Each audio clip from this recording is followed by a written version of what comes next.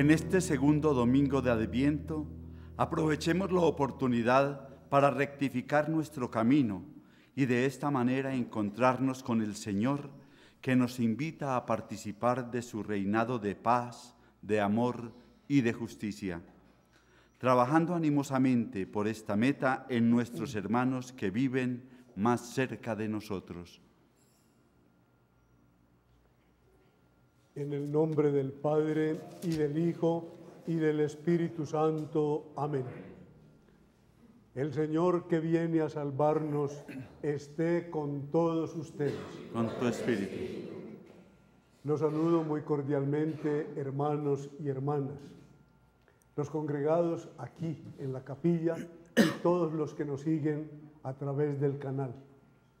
Somos la familia del Señor que en torno al altar vive el misterio de la muerte y de la resurrección del Señor. Esta semana hemos vivido el dolor de un accidente aéreo que ha dejado 75 muertos.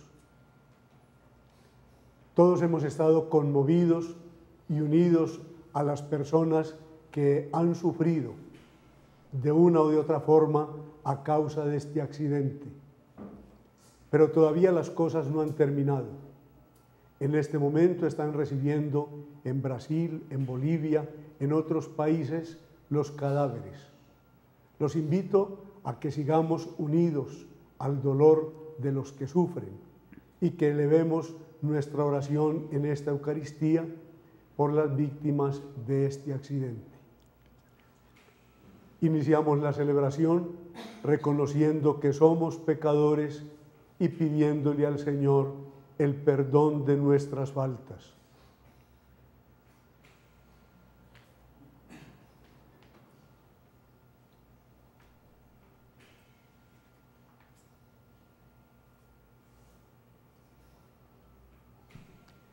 Tú que viniste a visitar a tu pueblo con la paz,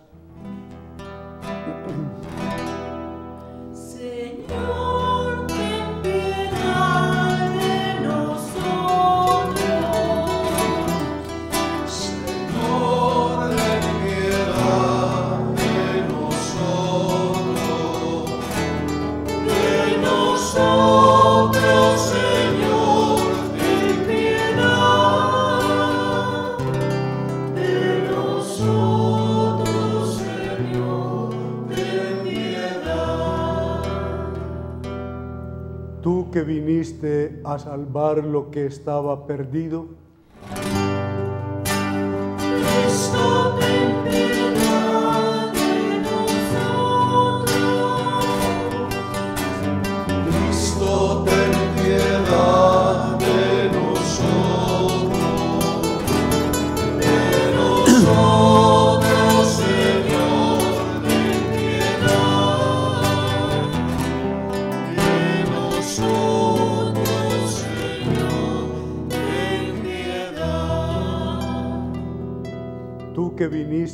a crear un mundo nuevo,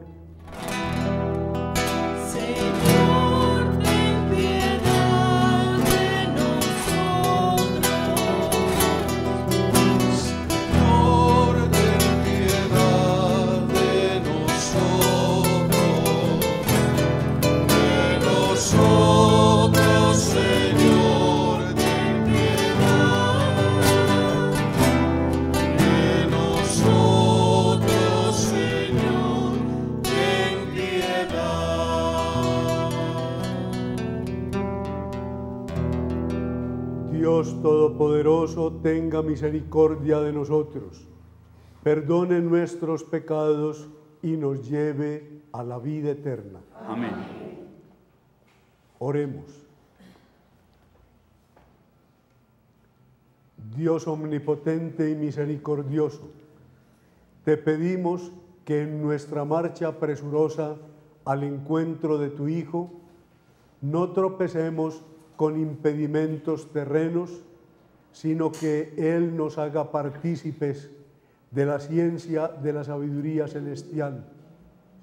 Por nuestro Señor Jesucristo, tu Hijo, que contigo vive y reina en la unidad del Espíritu Santo y es Dios por los siglos de los siglos. Amén. Lectura del libro de Isaías.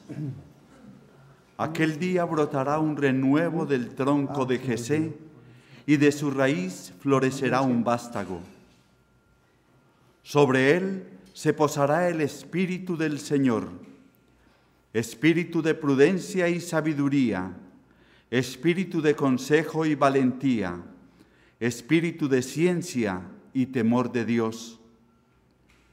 Le inspirará el temor del Señor. No juzgará con, con apariencias, ni sentenciará solo de oídas. Juzgará a los pobres con justicia, con rectitud a los desamparados. Herirá al violento con la vara de su boca y al malvado con el aliento de sus labios. La justicia será su cinturón, cinturón de sus lomos, y la lealtad, cinturón de sus caderas. Habitará el lobo con el cordero, la pantera se tumbará con el cabrito, el novillo y el león pasarán juntos. Un muchacho pequeño los pastorea. La vaca pastará con el oso. Sus crías se tumbarán juntas. El león comerá paja con el buey. El niño jugará en la ura del áspid. La criatura meterá la mano en el escondrijo de la serpiente. No le harán daño ni estrago por todo mi monte santo, porque está lleno el país de ciencia del Señor como las aguas que colman el mar. Aquel día la raíz de Jesé se erguirá como enseña de los pueblos. La buscarán los gentiles y será gloriosa su morada. Palabra de Dios.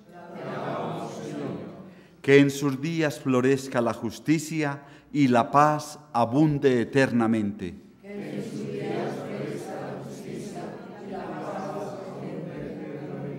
Dios mío, confía tu juicio al Rey, tu justicia al Hijo de Reyes, para que rija a tu pueblo con justicia, a tus humildes con rectitud.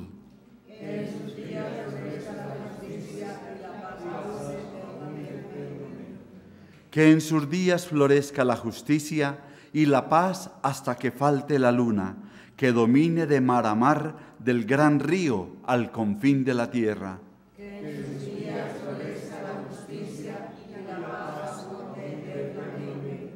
Él librará al pobre que, que clamaba y la paz al afligido que no tenía protector.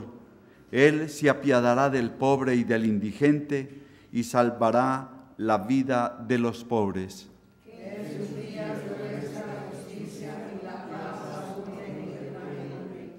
Que su nombre sea eterno y su fama dure como el sol. que Él sea la bendición de todos los pueblos y lo proclamen dichoso todas las razas de la tierra.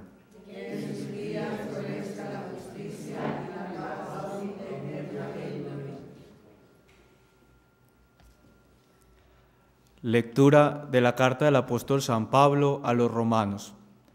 Hermanos, todas las antiguas escrituras se escribieron para enseñanza nuestra, de modo que entre nuestra paciencia y el consuelo que dan las escrituras mantengamos la esperanza. Que Dios, fuente de toda paciencia y consuelo, os conceda estar de acuerdo entre vosotros, según Jesucristo, para que unánimes a una voz alabéis al Dios y Padre de nuestro Señor Jesucristo. En una palabra, acogeos mutuamente, como Cristo os acogió para gloria de Dios. Quiero decir con esto que Cristo se hizo servidor de los judíos para probar la fidelidad de Dios, cumpliendo las promesas hechas a los patriarcas, y por otra parte, acoge a los gentiles para que alaben a Dios por su misericordia. Así dice la Escritura, te alabaré en medio de los gentiles y cantaré a tu nombre. Palabra de Dios.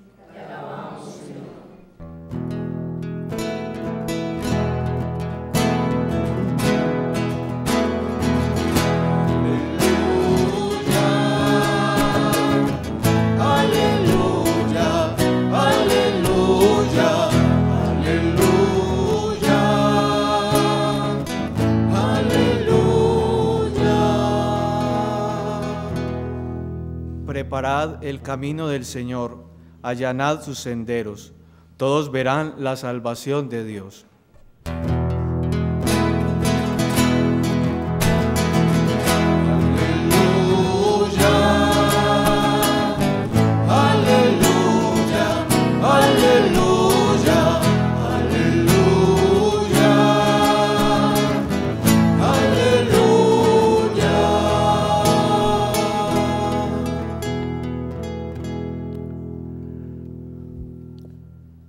El Señor esté con ustedes. Lectura del Santo Evangelio según San Mateo.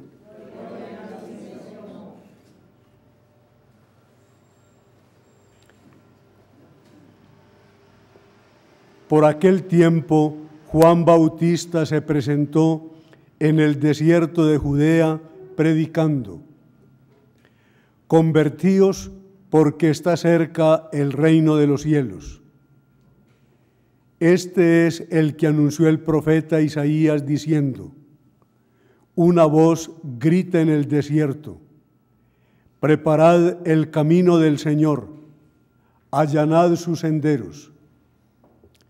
Juan llevaba un vestido de piel de camello con una correa de cuero a la cintura y se alimentaba de saltamontes y miel silvestre. Y acudía a él toda la gente de Jerusalén, de Judea y del valle del Jordán. Confesaban sus pecados y él los bautizaba en el Jordán. Al ver que muchos fariseos y saduceos venían a que los bautizara, les dijo, camada de víboras, ¿quién os ha enseñado a escapar del castigo inminente? Dad el fruto que pide la conversión y no os hagáis ilusiones pensando, Abraham es nuestro Padre. Pues os digo que Dios es capaz de sacar hijos de Abraham de estas piedras. Ya toca el hacha la, la base de los árboles y el árbol que no da buen fruto será talado y echado al fuego. Yo os bautizo con agua para que os convirtáis, pero el que viene detrás de mí puede más que yo, y no merezco ni llevarle las sandalias. Él os bautizará con Espíritu Santo y fuego. Él tiene el bieldo en la mano, aventará su parva, reunirá su trigo en el granero y quemará la paja en una hoguera que no se apaga. Palabra del Señor.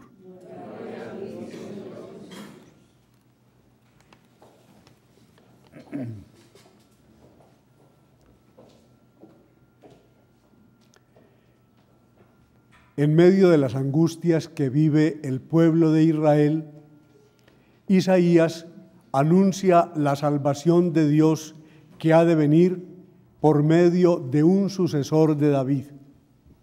Y nos cuenta, como acabamos de escuchar en la primera lectura, que estará lleno del Espíritu de Dios, que vencerá el poder del mal y que establecerá el reino de Dios en el mundo.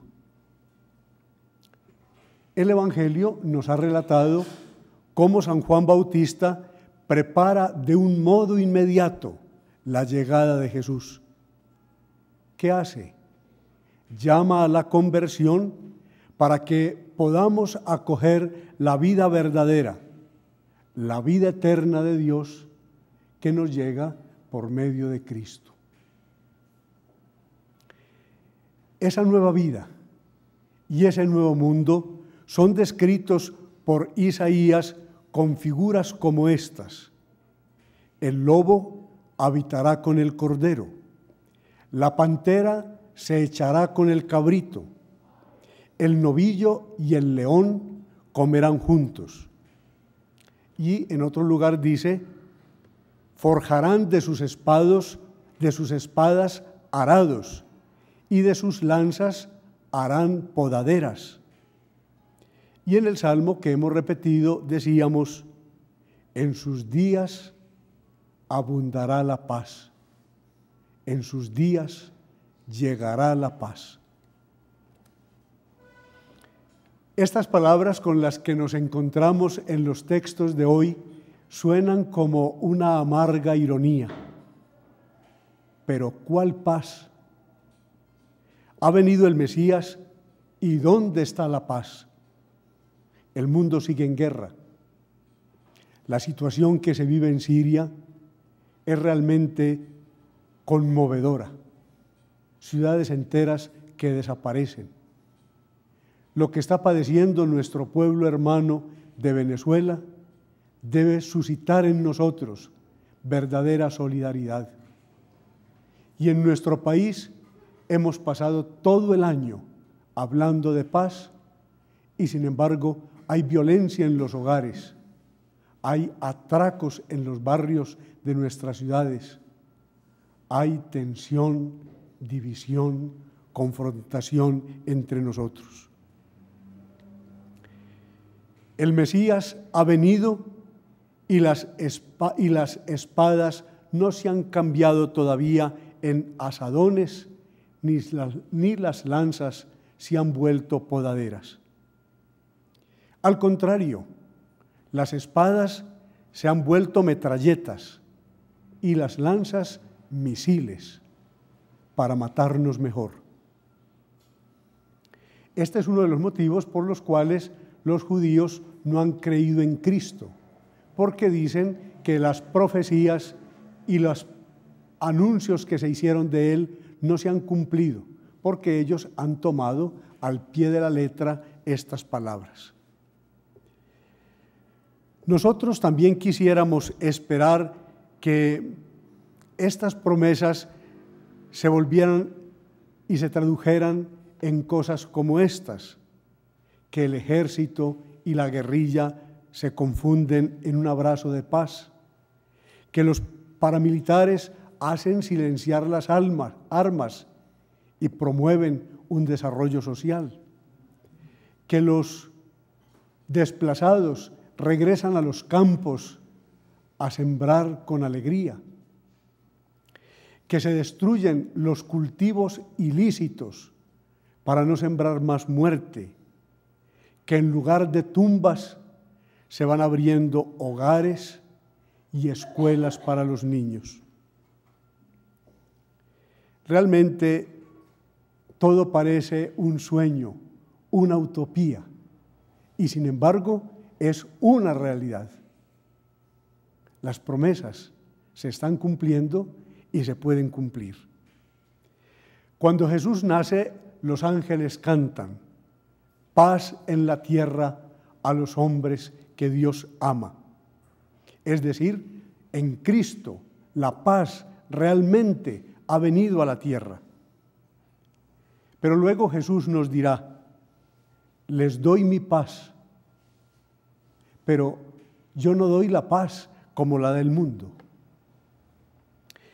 Esto nos lleva a pensar que existe otra paz, que la paz no se agota en la simple ausencia de guerra, como nos ha enseñado el Concilio Vaticano II, que la paz no es simplemente el equilibrio entre fuerzas encontradas a base de acuerdos milimétricamente calculados en que cada parte quiere tener ganancia.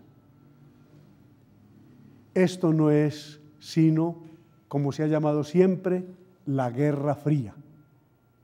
Paz es armonía, es plenitud, es seguridad, es desarrollo integral para todos, es alegría de vivir, es gozo profundo en el corazón de todos los seres humanos.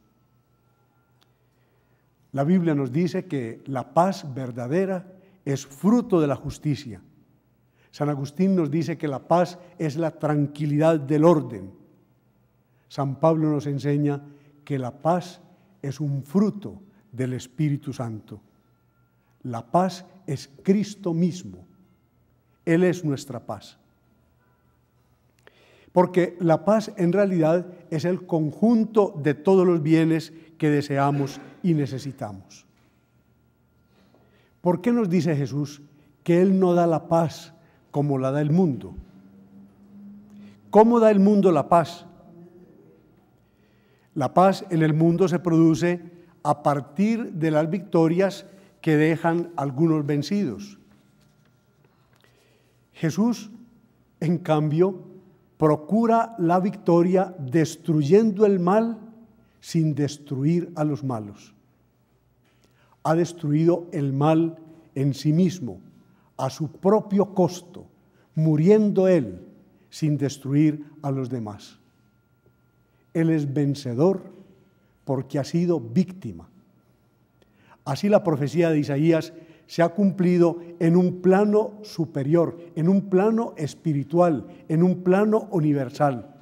A partir de Jesús, la paz, si no es una realidad generalizada, es una posibilidad real, ofrecida a cada persona y cumplida en todos los que de verdad queramos seguir a Jesús. Esta es una paz que el mundo no puede dar ni tampoco nos puede quitar. Esta es la maravilla. La paz de Cristo, no la del mundo, pero tampoco el mundo nos la puede quitar. Se puede decir, ante lo que estoy reflexionando, que esta paz no sirve para quitar las guerras y la violencia que nos desangra. Pero la paz de Cristo no se reduce a un hecho íntimo y privado, a un acontecimiento irrelevante en la historia. Porque la paz o es de todos o no existe. Ojalá esto lo tuviéramos siempre presente, a fin de no equivocarnos y no andar con ambigüedades. Sin embargo, esta paz interior, esta paz profunda del ser humano que trae Cristo, es la que produce la paz exterior, la paz universal. ¿De dónde vienen las guerras sino de las pasiones que combaten dentro de nosotros mismos? ¿Dónde empieza la guerra si no es en el odio que nace en cada corazón humano? Es ahí donde está el arma más peligrosa, es en el corazón humano donde está el fuego que enciende todas las guerras del mundo. Así como millones de gotas de agua sucia no harían un mar limpio, millones de hombres sin paz en el corazón no harían nunca una humanidad en paz. El destino de la paz se decide en el corazón humano y por eso solo Cristo es nuestra paz y Él ha traído la paz verdadera. De otra parte, no nos hagamos ilusiones. La paz total, interna y externa, es una meta escatológica, final. Se, se dará cuando se inauguren los cielos nuevos y la nueva tierra en los que habite la justicia. Mientras tanto, la receta verdadera de la paz se encuentra en una frase que se lee en el Evangelio de hoy. Conviértanse, den los frutos que produce la conversión. Ese es el mensaje central de Jesús hoy. Den los frutos que produce la conversión. Se necesita un cambio radical del corazón, convertirnos a la paz. La paz se obtiene con la victoria sobre sí mismo, no con la victoria sobre los demás. Cuando yo venzo a otro, estoy fabricando un enemigo. Cuando yo me venzo a mí mismo, me estoy haciendo un hombre de paz. La paz no se hace como la guerra. Para hacer la guerra se necesitan largos preparativos, formar ejércitos, adiestrar hombres y armarlos. Hay del que salga solo a hacer la guerra, lo matan. En cambio la paz comienza al contrario, logrando que cada uno de nosotros esté en paz, fabricando la paz en mi corazón para que desde mí llegue la paz a los demás. Entonces, tal vez yo no puedo hacer llegar la paz a Siria, no puedo poner la paz en toda Colombia, pero yo sí puedo poner la paz en mi vida y puedo poner la paz en mi familia y puedo contribuir a que haya paz en mi barrio. ¿Por qué no empezar a transformar las espadas en arados? ¿Por qué no comenzar a transformar las palabras duras en palabras de comprensión y de perdón? ¿Por qué no empezar a transformar los puños amenazantes en manos que se extienden para ayudar, para servir, para acompañar a los demás? Hay tanto dolor hemos tenido tanto sufrimiento, ha habido tanta muerte que no necesitamos más agresividad ni más violencia. Que en esta Navidad nos hagamos todos obreros de la paz y para ello que recibamos la paz que nos viene del Señor, que nace por nosotros. Y si la paz llega al corazón, podemos orar con verdad, Señor hazme hoy y aquí un instrumento de tu paz. Amén.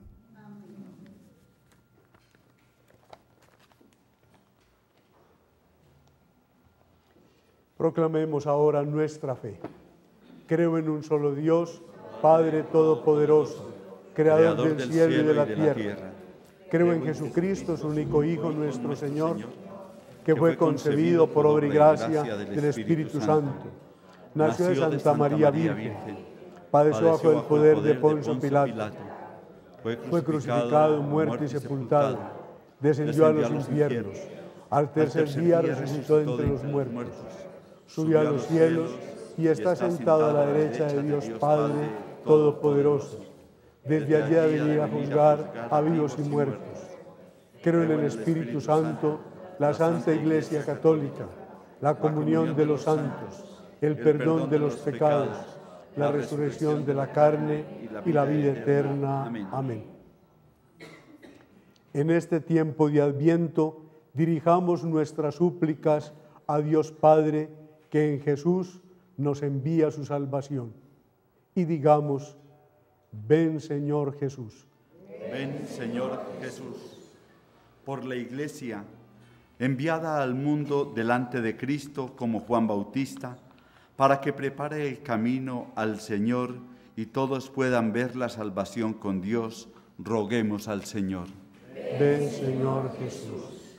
por los que trabajan por la paz, la justicia, la libertad, para que descubran en su labor el proyecto grandioso de Dios revelado en Jesucristo, roguemos al Señor. Ven, Señor Jesús. Por todos los que sufren, para que la venida gloriosa de Cristo traiga consigo anhelos de justicia, de amor y de paz, roguemos al Señor. Ven, Señor Jesús. por quienes viven la injusticia para que el Señor defienda con justicia al desamparado y juzgue equidad con equidad la conducta del pobre, roguemos al Señor. Ven, Señor Jesús. Por todos nosotros, para que por nuestro testimonio y coherencia de vida cristiana podamos preparar el camino para el nacimiento de nuestro Señor Jesucristo, roguemos al Señor. Ven, Señor Jesús. Presentemos ahora nuestras intenciones y súplicas personales. Oremos por nuestra patria, por nuestras familias, por las personas que se confían a nuestra oración.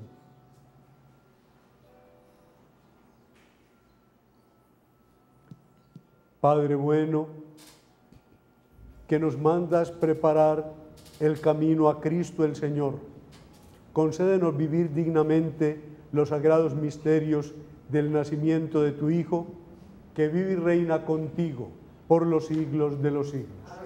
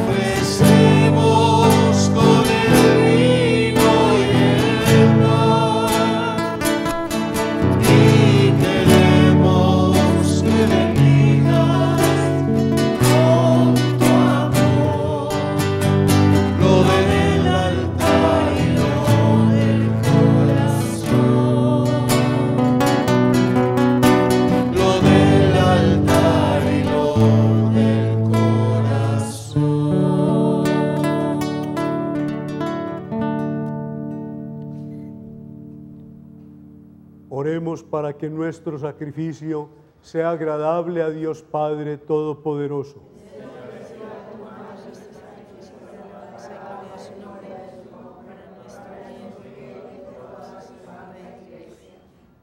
Acoge, Señor, con bondad nuestras humildes oraciones y ofrendas, y al vernos tan desvalidos y sin méritos propios, socórrenos con la ayuda de tu indulgencia.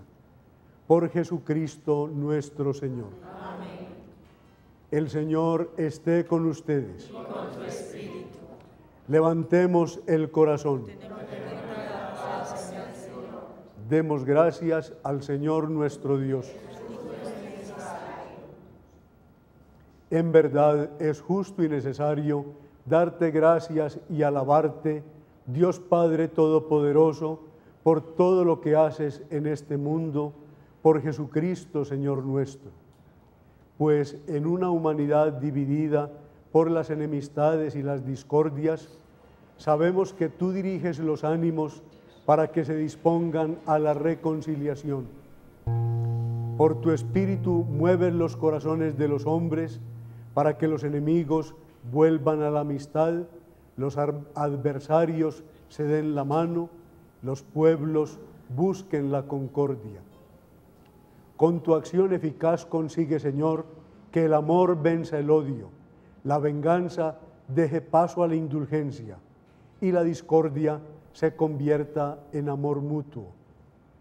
Por eso con los coros celestiales te damos gracias continuamente y en la tierra cantamos sin cesar a tu majestad.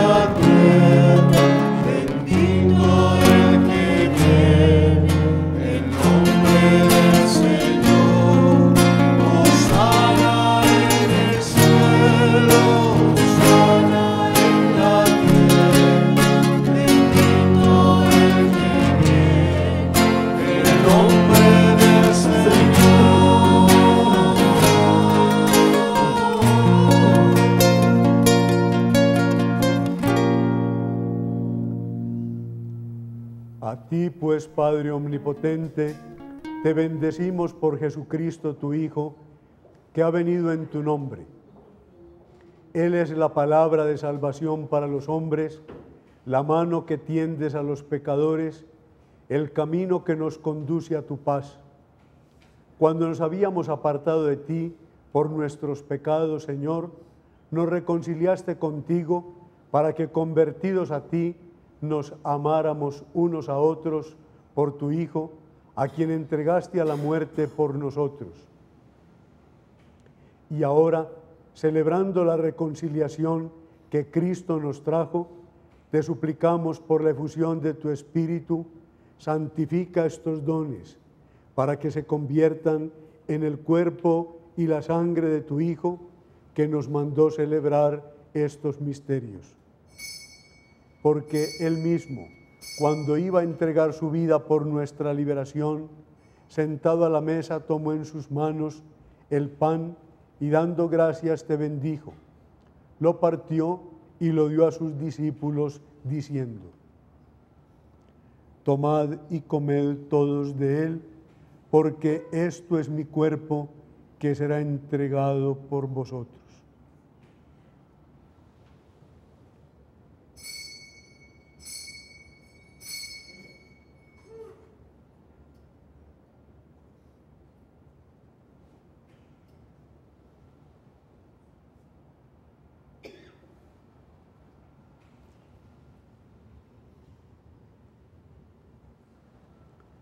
Del mismo modo, aquella noche tomó en sus manos el cáliz de la bendición y proclamando tu misericordia, se lo dio a sus discípulos diciendo, Tomad y bebed todos de él, porque este es el cáliz de mi sangre, sangre de la alianza nueva y eterna, que será derramada por vosotros y por muchos para el perdón de los pecados.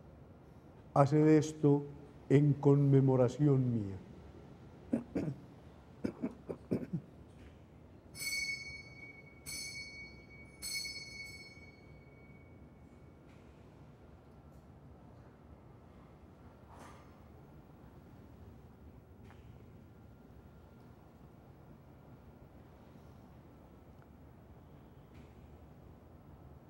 Este es el misterio de la fe.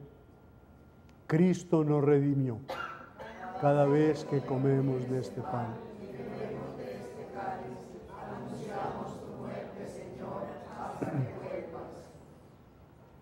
Así pues, al celebrar el memorial de la muerte y resurrección de tu Hijo, que nos dejó esta prenda de su amor, te ofrecemos lo que tú nos entregaste, el sacrificio de la reconciliación perfecta. Te pedimos humildemente, Padre Santo, que nos aceptes también a nosotros juntamente con tu Hijo, y en este banquete salvífico, concédenos el mismo Espíritu que haga desaparecer toda enemistad entre nosotros. Que este Espíritu haga de tu iglesia signo de unidad e instrumento de tu paz entre los hombres y nos guarde en comunión con nuestro Papa Francisco, conmigo indigno siervo tuyo, con los demás obispos y con todo tu pueblo. Así como nos has congregado ahora en torno a la mesa de tu Hijo, reúnenos con la gloriosa Virgen María, Madre de Dios, con su esposo San José, con tus apóstoles y con todos los santos, con nuestros hermanos y con los hombres de toda raza y lengua que murieron en tu amistad, en el banquete de la unidad eterna, en los cielos y en la tierra nueva, donde brilla la plenitud de tu paz, en Jesucristo, Señor nuestro.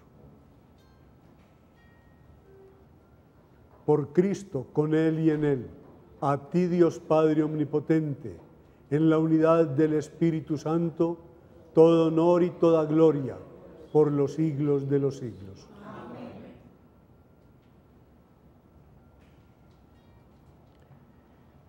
Llenos de alegría porque somos hijos de Dios, oremos ahora como el mismo Jesús nos enseñó. Padre nuestro que estás en el cielo, santificado sea tu nombre. Venga a nosotros tu reino. Hágase tu voluntad en la tierra como en el cielo. Danos hoy nuestro pan de cada día. Como también nosotros perdonamos a los que nos ofenden. No nos dejes caer en la tentación y líbranos del mal. Líbranos de todos los males, Señor, y concédenos la paz en nuestros días, para que, ayudados por tu misericordia, vivamos siempre libres de pecado y protegidos de toda perturbación, mientras esperamos la gloriosa venida de nuestro Salvador Jesucristo.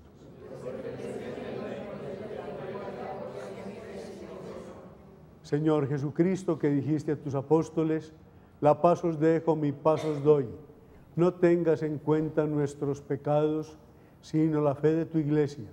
Y conforme a tu palabra, concédele la paz y la unidad. Tú que vives y reinas por los siglos de los siglos. La paz del Señor esté siempre con ustedes. Como hermanos, démonos un saludo de paz.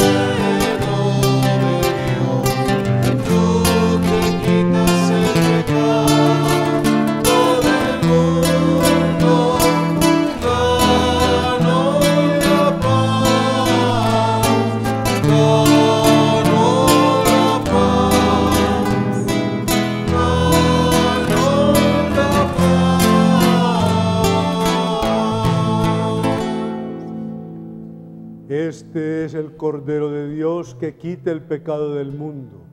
Dichosos los invitados a la cena del Señor.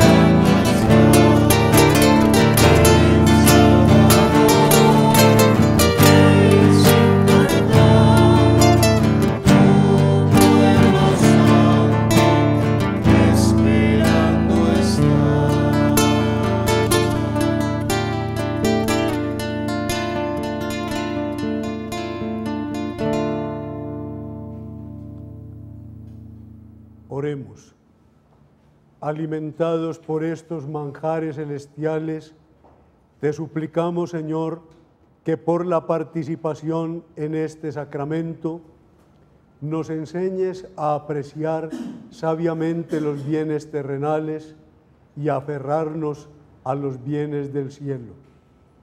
Por Jesucristo nuestro Señor.